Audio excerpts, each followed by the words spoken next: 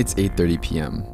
Thousands of people in the town of Rolling Fork, Mississippi, are completely unaware of what's coming straight for them.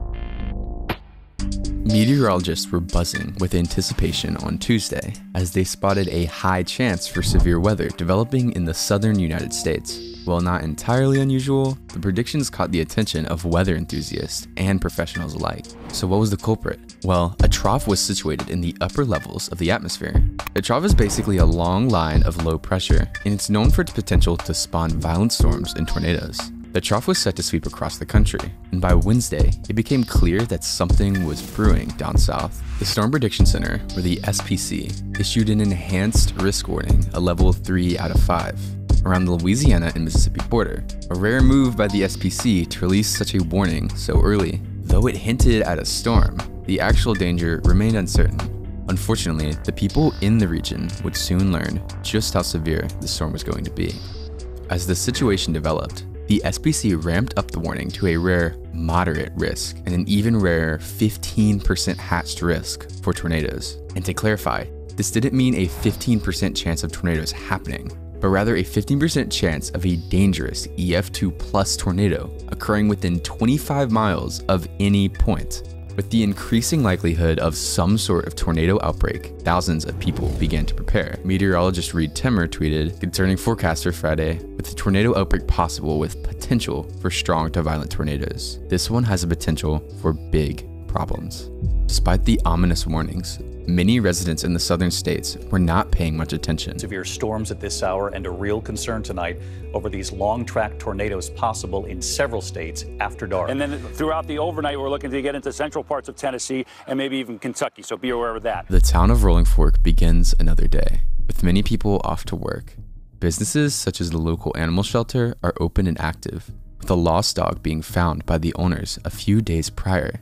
Everything's running as a typical morning would on the ground, but up above the clouds, something menacing is brewing. The air was very unstable. A tool meteorologists use, called water vapor imagery, indicated the trough was getting stronger and moving quicker, while warm, moist air from the Gulf was positioned almost perfectly to crash right into it. By around 5 p.m. local time, thunderstorms were quickly maturing in Louisiana. The unique aspect of these storms is that although they are currently quite chaotic, they are all spaced out and they're full of energy, creating perfect, powerful environments for something bad to occur. All they needed to do was maintain momentum to the east, where they could hit favorable conditions to start spinning. When storms start spinning, you consider that a supercell. And what makes it super is rotation. When a storm rotates, extreme weather anomalies occur, like hail, bursts of wind and floods, very powerful lightning, and of course, tornadoes. A tornado watch was issued at 5:15 p.m covering an enormous stretch of land between Mississippi, Louisiana, Arkansas, and Tennessee. Judging by how disorganized the setup was, people were slowly getting antsy about if anything was actually going to happen. The storm still needed to move into an ideal spot of low pressure, but it was impossible to tell if they actually would. Additionally, moisture and heat energy that supercells strive on was diminishing as the sun set, that was until one particular supercell became notable. Two for this particular cell. Again, very close to Highway 1 here. The intriguing supercell soon became menacing as it visibly expanded and was rapidly spinning while producing large size hail and rain. Based on radar data, the National Weather Service decided to issue a tornado warning. This large tornado warning stretched multiple counties across Mississippi, but that supercell hadn't actually spawned a tornado yet. Even still, the radar showed a rotation signature, or a tight point where two contrasting wind directions meet. This essentially shows extremely fast rotational motion. At this point, it was literally a matter of minutes before the supercell would produce something. At 7.57 p.m., a debris signature occurs on the top of the velocity signature. This blue dot here is part of a measure called the correlation coefficient. It essentially shows things that aren't supposed to be in the clouds, and since the color is very different, it's currently signifying things like trees, dirt, and even chunks of people's homes. This was unmistakably the start of a tornado. The very weak tornado started in the middle of farms, tearing up nothing more than a couple of crops. Soon, it crossed its first major road, Egremont Street. As if driven by some sort of supernatural force, the messy, weak vortex gained intensity with an alarming speed, first turning into a barrel shape before morphing into a tornado wider than it is tall. Storm chasers were now here capturing images of the tornado and cross-referencing this footage along with damage analysis. We can predict the tornado's inner funnel was over a quarter mile wide at this point, with its damaging wind field stretching over half a mile. Experts consider this a wedge tornado. The combination of both storm chaser sightings and destruction evident from radar imagery prompted the National Weather Service to issue a very rare tornado emergency around a small town northeast of the storm. This town was Rolling Fork, Mississippi. Right now, the tornado was almost completely invisible to the naked eye, as heavy rain mixed with a pitch black sky obstructed it from any view. By 8.05, the tornado crossed its first residential area, a stretch of three homes along Ending Bar Road. An electrical transformer explodes, producing a large blue light also known as a power flash. This was the first sign the tornado was both in an inhabited area and also causing damage so violent it was literally ripping metal apart. This home on Ending Bar closest to the core of the tornado has its roof completely torn off, but the tornado is still intensifying. The projected path of the tornado had it technically skewing northeast, where it would only brush the edge of residential areas and not even make a direct hit through the town. However, just after crossing Ending Bar Road,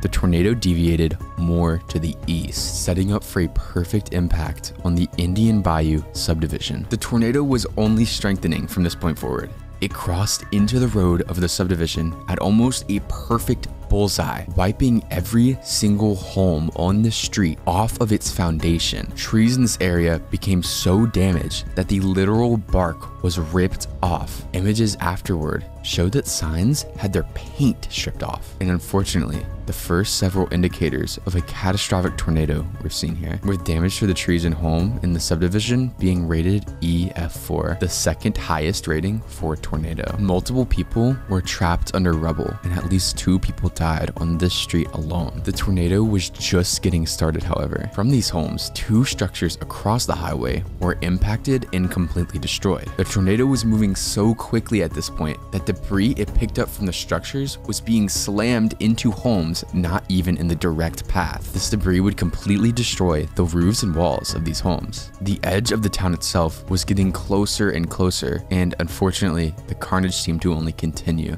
As the first street here of the town was impacted. Every one of the over 27 homes sustained intense damage. At one point, the vortex lofted up a semi truck here before slamming the vehicle into the home of the Pierce family. The truck instantly killed both Lonnie and Melissa Pierce, beloved members of the community. At the same time, storm chasers spotted something interesting orbiting the vortex. At the base of the rotation, a bright pair of lights were seen spinning. At first, the lights do a full circle around the vortex before showing up again much higher in the air. It was clear that a car was actually running, invisibly being thrown by the tornado. People speculated that it could have been something else, but nonetheless, something large and bright was seen orbiting the tornado as it entered the town's edge. Even though the town had barely been hit yet, hundreds of homes had already been decimated before the tornado had even finished intensifying. The tornado's path deviated north slightly before crossing onto Collette Avenue. Here, multiple brick structures were torn to rubble, and the core of the tornado began to suck the grass out of the dirt. Hundreds of storm chasers captured images and video of the tornado at this point, and the absolute mammoth of a size that it was. But something they also noticed was the speed. The tornado was moving at a speed of over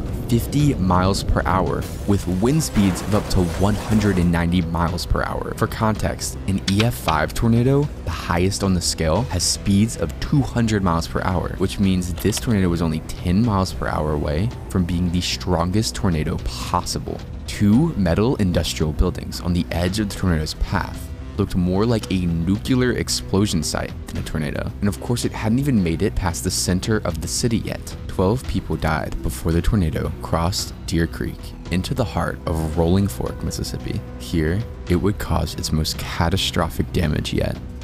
The town's water tower is torn out of the ground and bent in half like a chopstick. The concrete the tower was bolted to is crumpled and bent. Multiple large semi-trucks and 18-wheelers are picked up, twisted and mangled, and then slammed into homes and buildings at highway speeds. 200 feet away from the water tower is the home of Damien Harris. Damien was aware of the weather but was out of town for work while his parents stayed at his home. A couple hours prior, Damien's mom called him, telling him to stay at work as the weather was getting significantly worse. Because of this call, he stayed, but by the time the tornado was over his home, he began increasingly concerned over his mother because of her lack of response. This lack of contact prompted him to rush back to Rolling Fork, but unfortunately, debris from the water tower, paired with the extremely strong winds, completely destroyed his home before he could get there. His father's back was severely broken, and his mother tragically passed away before he could get to her. While this was just one instance, the tornado was basically covering the entire town, and the same tragic story was being repeated for almost every single home there.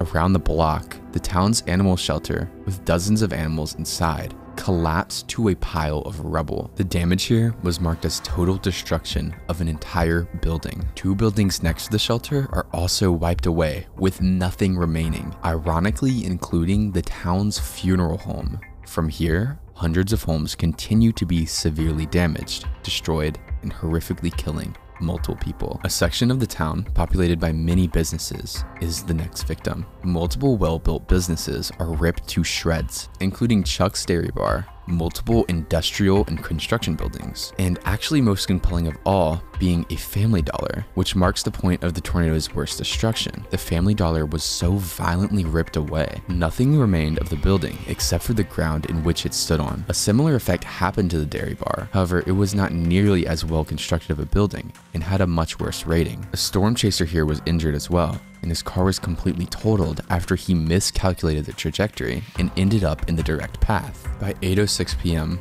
the last victims of Rolling Fork were now being impacted by the tornado. Devastatingly, a large mobile home park with dozens of residents was hit straight on at peak speed, turning the once nice neighborhood into a junkyard. Dozens of people were killed in their homes right here. The tornado finally exited Rolling Fork at 8:10 p.m. Calculations provided that all of this destruction and every fatality in the completely destroyed city was done in 3 minutes. That's right, all of the fatalities, all of the destruction, 3 minutes. For 20 minutes after Rolling Fork, the tornado went through completely rural terrain. It looked to be the end of the horror as radar imagery showcased a much weaker tornado than before.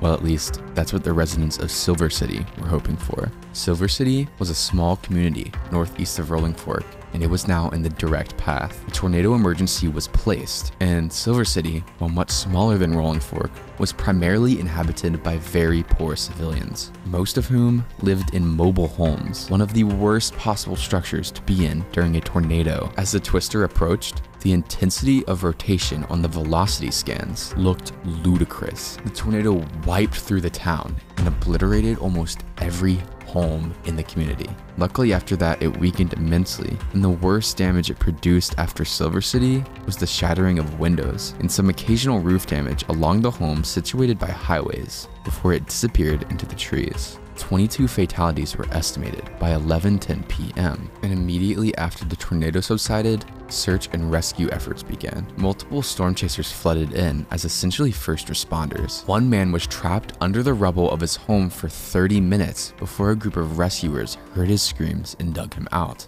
As many realized both hospitals were destroyed in Rolling Fork, the University of Mississippi's Medical Center partnered with police to establish a temporary field hospital at the town's National Guard. All that was left to do was wait until sunrise. For most, March 24th was just another Friday, but for the citizens of Rolling Fork, it will be remembered as the day thousands of lives were demolished, ruined, and devastated as a tornado destroyed an entire town. As of today, Rolling Fork has been visited by the president as well as hundreds of volunteers and donors. And while the town will rebuild, it probably will never be the same. But residents of Rolling Fork are choosing to look at the bright side. Satellite imagery shows that the day after the tornado, hundreds of cars built up across the streets to help out. If you want to donate to Rolling Fork, Mississippi, there'll be a link below providing all the necessary details. If you enjoyed this video, make sure to subscribe. More documentaries will come soon.